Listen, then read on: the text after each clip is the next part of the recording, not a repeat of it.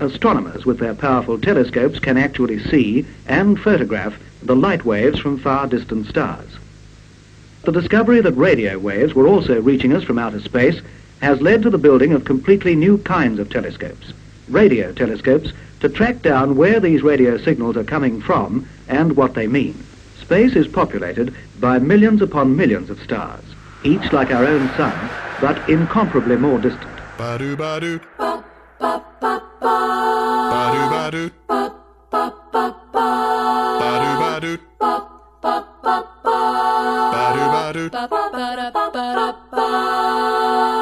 Hey ho, did you know that there's a universe in the radio? I'm gonna tell you what you want to know about the universe in the radio.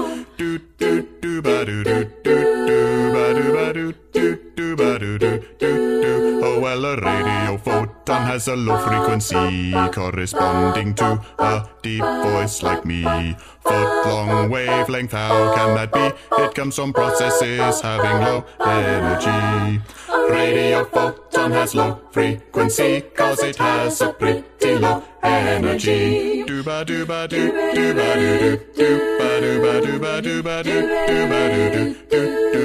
It was 1931 when Dr. Karl Jansky, he's the father of radio astronomy. He studied radio noise to find out what it could be and saw that it was coming from our own galaxy. Do he wondered what all of that static could be? It was the center of the Milky Way galaxy. Do.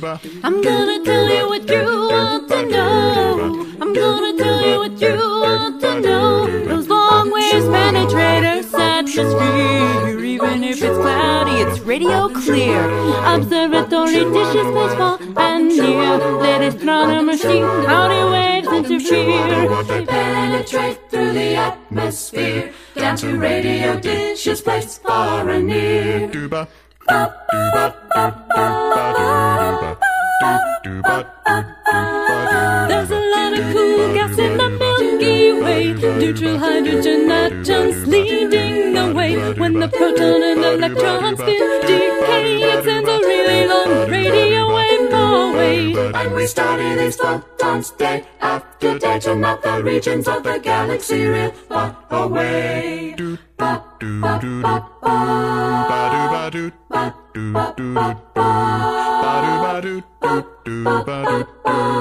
ba do ba do. Do do ba do. do. Well, the universe began with a big bang explosion.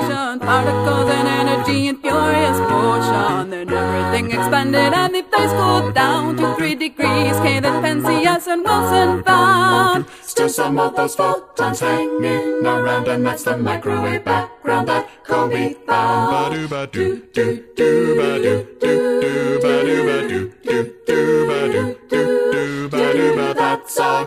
cosmic radio show of things about the universe we'd never know if someone hadn't built a dish and sat below to see the universe unfold in the radio.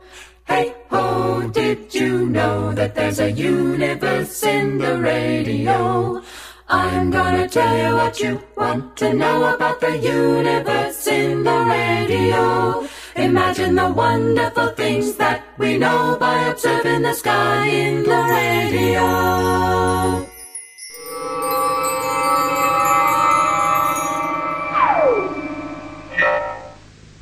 And so began the science of radio astronomy, using radio waves instead of light waves.